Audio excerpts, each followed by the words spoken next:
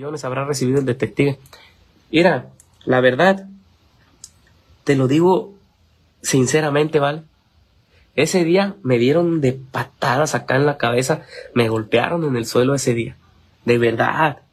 Fue algo bien feo que hasta el cerebro se me había entumido y llamé a la ambulancia, eh, hice el reporte, eh, hubo varias cosas ahí y se los llevaron y a, a dos, tres días salieron.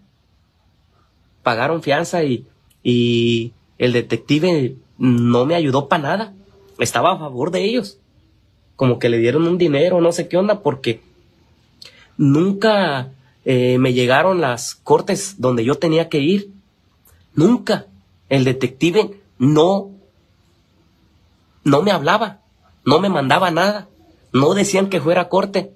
O sea, todo estuvo allí arreglado. Y tengo el número del detective, todavía. Tengo el número del detective apenas para para decirle hasta, me cae que si se pudiera hasta algo, no, no, no, ¿para qué, qué la riego? Te digo, güey, que a ti lo que te mata es el hocico. Ya vas a hablar mal hasta de los detectives, cabrón. Que por qué no te llamaron, que seguro los sobornaron, que bla, bla, bla. Como siempre, puro pinche chisme y argüende.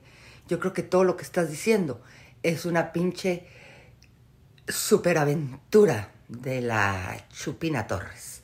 O sea, no mames, cabrón. Si hubiera delito que perseguir, te hubieran hablado. Seguro te dieron otros soplamocos, güey. Y ya con eso ya tú te sentías como que muy agredido. No mames, cabrón.